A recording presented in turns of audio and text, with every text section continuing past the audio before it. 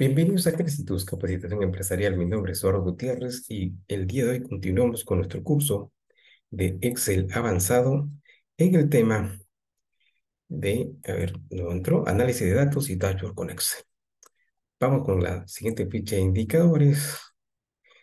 Acá dice tasa, pero no es la tasa de clientes, sino es la rentabilidad neta. Rentabilidad neta. Si bien nosotros ya hemos calculado la rentabilidad este, bruta, hoy día nos toca la rentabilidad neta y vamos a ver cómo completamos la rentabilidad. Para ello ya tengo por aquí la ficha de indicador. Y por eso, no, ahí, ahí ya va. Listo. Entonces tenemos el nombre del indicador rentabilidad neta. Definición, mide la relación que existe entre la utilidad neta y las ventas. El responsable de la medición, pues por acá decía el jefe de ventas, pero vamos a hacer un pequeño cambio, va a ser el jefe de finanzas, ¿no? O el jefe de administración y finanzas, ¿no? Este señor. ¿De dónde puede ser también de los reportes de ventas? Sí, de reportes de ventas y costos. ¿No? Dos. Dos lugares. Ventas y costos. Ventas y gastos también podría ser. Fórmula de indicador de utilidad neta, ventas totales, frecuencia mensual. Le puse 40, voy a ponerle 40%, pero vamos a ver cómo, cómo sale, ¿no? ¿Qué tanto tenemos? Rango de gestión, más de 40 excelente, 35 40 aceptable y menos de 40 deficiente, ¿no? Como utilidad perdón, como rentabilidad neta. ¿Qué necesitamos? La utilidad neta, las ventas totales, la rentabilidad neta y la meta de rentabilidad neta. Dicho esto, nos vamos al pivot, nos vamos al modelo de datos en Power Pivot y vamos a ver si tenemos lo suficiente. Administrar.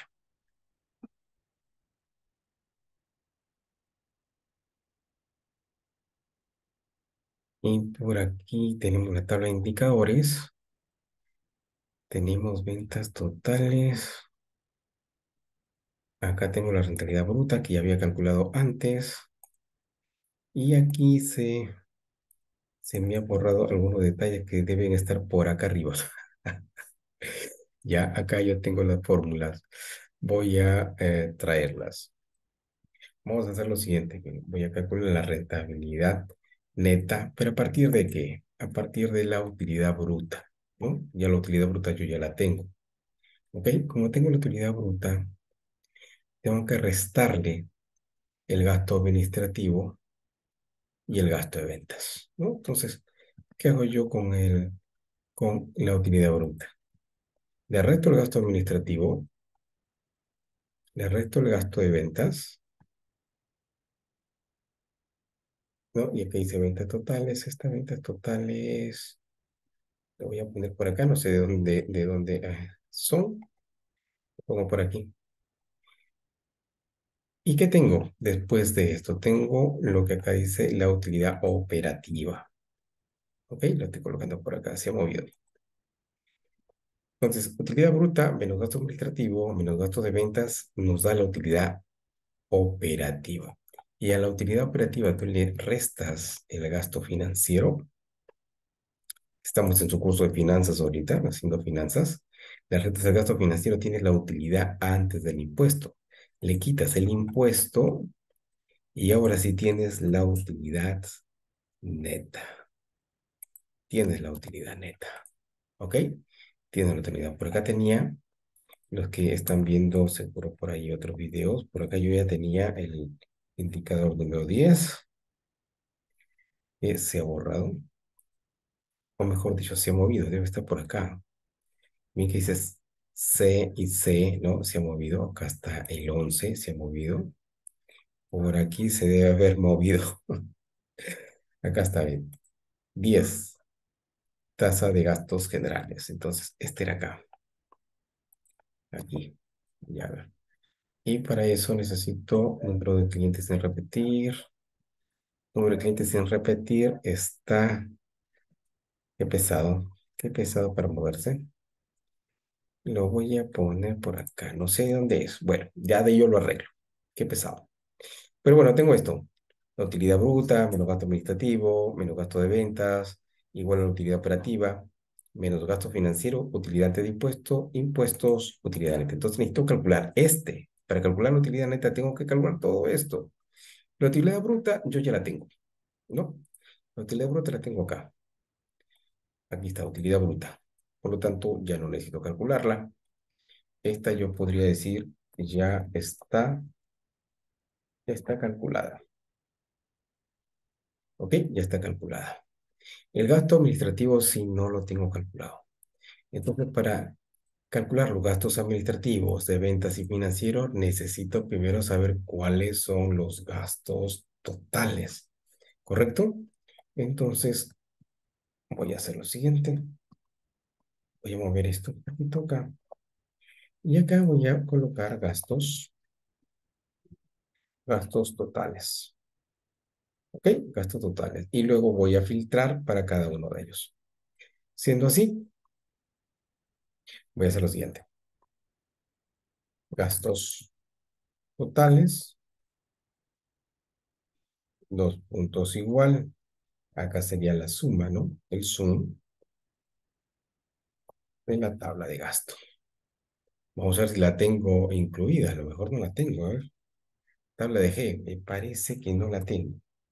Entonces, como no la tengo, no voy a crear una tabla, creo, porque ya creo que por aquí ya la tengo.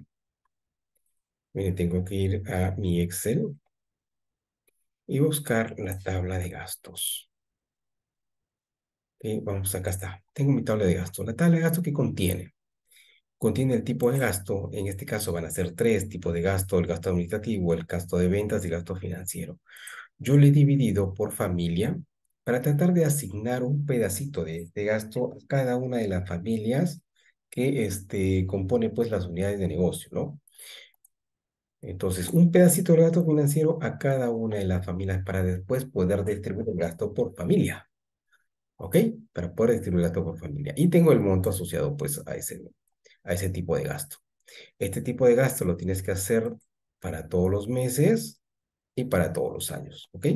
Todos los meses todos los años. Y por familia, y por todas tus familias. Entonces, miren, acá tengo yo de otros meses igualito el gasto financiero. En este caso creo que está filtrado, no, está ordenado. Tengo gasto administrativo, de ventas y financiero. Entonces, todos, todos los meses y todos los años. Este gasto de ventas ya, por familia. ¿Ok? Entonces, ¿qué voy a hacer?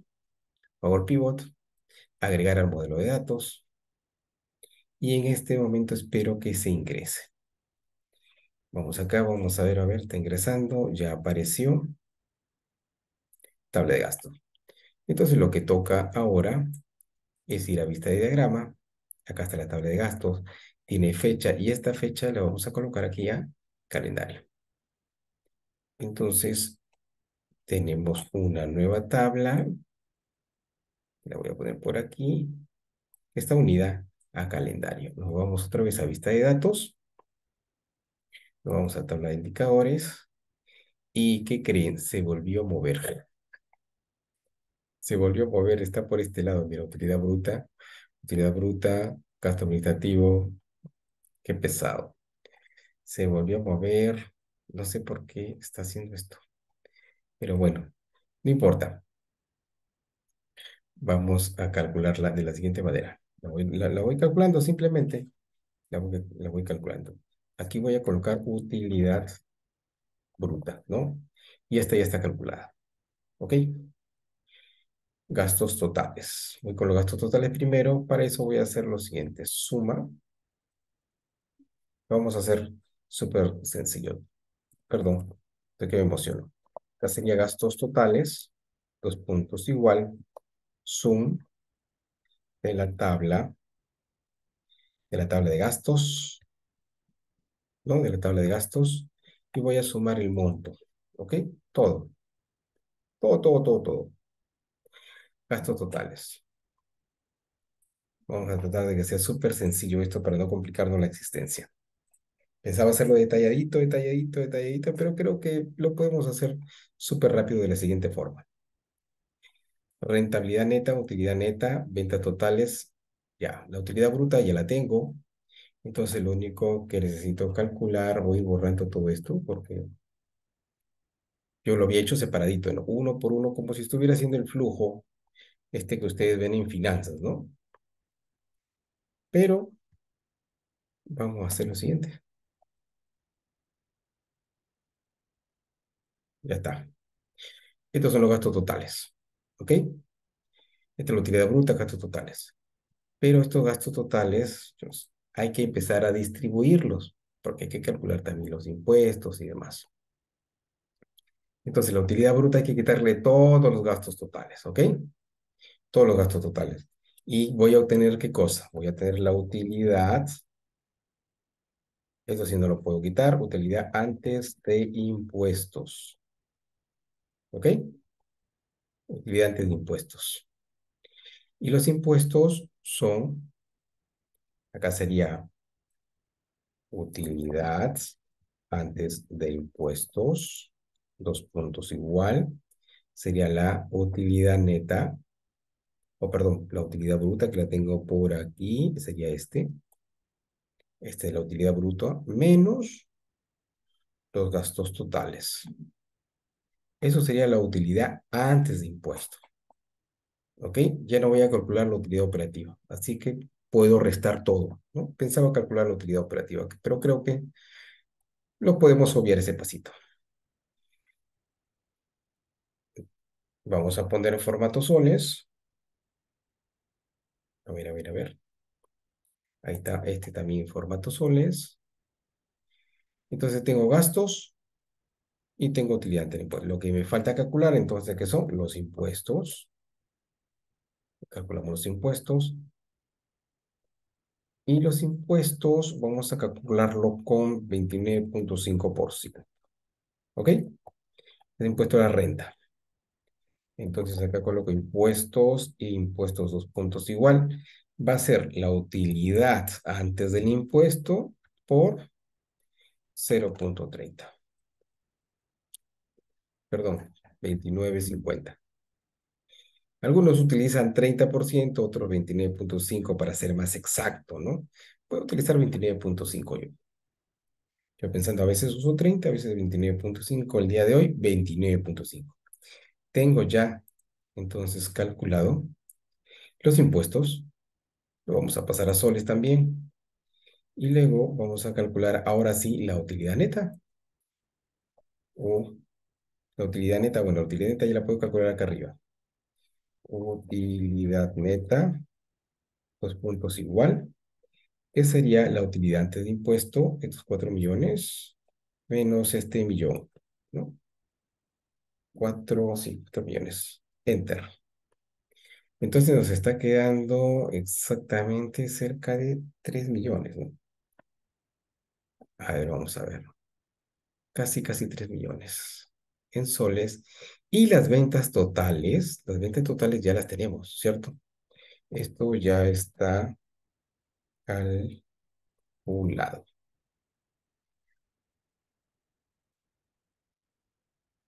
Ya está calculado. Porque lo calculamos en la utilidad bruta. Sí que no. Si voy a utilidad bruta, acá están las ventas, ventas totales. Entonces ya está calculado ya. Lo único que tengo que hacer entonces es la renta, rentabilidad neta, dos puntos, neta, dos puntos igual, divide. Y vamos a dividir la utilidad neta, que acá dice utilidad. De ahí lo cambiamos, dice utilidad, ¿no? Utilidad. Un coma sobre las ventas totales. Ventas totales, ventas totales, ventas totales. Acá abajo. Punto coma cero. Cierro. Y ahorita cambiamos esto, ¿no? La utilidad neta. La utilidad neta entra utilidad neta. Vamos a la utilidad neta. Tasa rentabilidad. Está actualizando.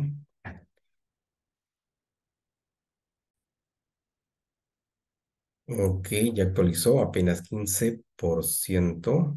Vamos a ver porcentaje. 15. Yo le había puesto 20, ¿no? Está bajito. Está bajito. La meta de la rentabilidad neta, esa no le, no le íbamos a poner. Así que nos vamos a la tabla de metas. Vamos a la tabla de metas para darle un valor por, por ahí, ¿no? ¿Dónde está metas, metas, metas? Actualiza. Vamos a grabar. Vamos a entrar a metas. Está grabando. Guardando, guardando, guardando. Metas. Vamos hacia arriba. Y vamos a colocar la meta en la rentabilidad neta. Ok, y aquí sí, está en 15%, entonces podríamos empezar por ahí. ¿No? Punto 15, que es muy bajito, ¿no? Muy, muy bajito. Punto 15, 15%. En este año hasta el 2019 y luego vamos a ir subiendo punto 18. No, hay que subirle un poquito. Y creo que voy a hacer esto. 3%, ¿no? Punto 03. Entonces, uy, uy, no quiere. Más 0.03. Ahí está. Y que suba siempre, ¿no? Y vamos a ver en cuánto acaba. Uy, uy, uy, acaba en 36 para 2025. Creo que está bien, ¿no? Está bien. Está potente, es una, una buena subida. Y vamos acá. Vamos a Power Pivot. Y ahora sí vamos a calcular la meta, ¿no? Y la meta, la meta, la meta de rentabilidad neta. Dos puntos iguales, el promedio, ¿no? A ver, aquí. A ver, aquí. De la tabla de meta la última, la última, la última, meta de cumplimiento, meta, meta, promedio entrega, rentabilidad neta. ¿Dónde estás? Neta. A ver, tabla de metas, rentabilidad bruta. No está, ¿por qué no está? Ey, te olvidaste. ¿De qué? No actualizaste la tabla. Ah, tienes razón. No actualicé la tabla. No actualicé la tabla. Actualizar. Ojo con esos detalles, ¿no? No te vayas a olvidar actualizar la tabla y luego también la conexión. A veces uno se olvida que ingresa una tabla, no está conectado. Entonces son detalles que a mí siempre me pasan para que ustedes vean cómo resolver esos problemitas. No, aparece, no, tranquilo. Seguro por ahí olvidamos de hacer algo. Nada más. Algo olvidamos de hacer, entonces por eso no, no cuadró. Pero ahorita que ya actualice, vamos a resolver este problema. A ver, actualizando, actualizando.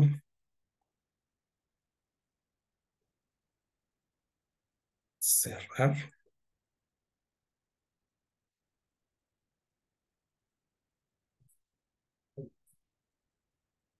Cerrar, cerrar, cerrar. Ah, está cargando acá abajo. Mira, dice finalizando. Hay que dar, darle su, su tiempo. Finalizando. Correcto, dice, se han transferido 96 filas, pero acá todavía ya no termina, ya termina, termina, termina. Ya está. Listo, ahora sí, grabo acá también. Por si, por si las moscas, ¿no? Listo. Y me regreso aquí a Power Pivot y me voy a la tabla de indicadores. Esperemos que no se haya movido. Ese temblor que hemos tenido hace rato ya haya pasado. Ok. Vamos acá. Listo. Meta de rentabilidad neta, dos puntos igual. La meta, ¿no?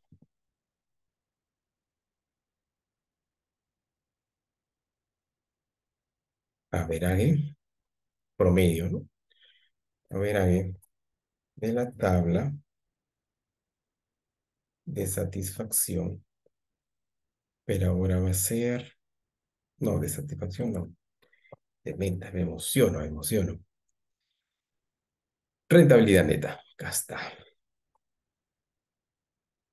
Listo, ahora ya tenemos todo. Tenemos la rentabilidad, tenemos todo. Vamos a ver que aparezca. Y esta que esté en porcentaje.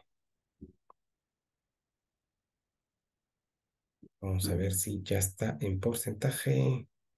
Actualiza, ya está en porcentaje. Nos vamos al Excel. Y nos vamos al indicador 9. Nueve indicadores ya.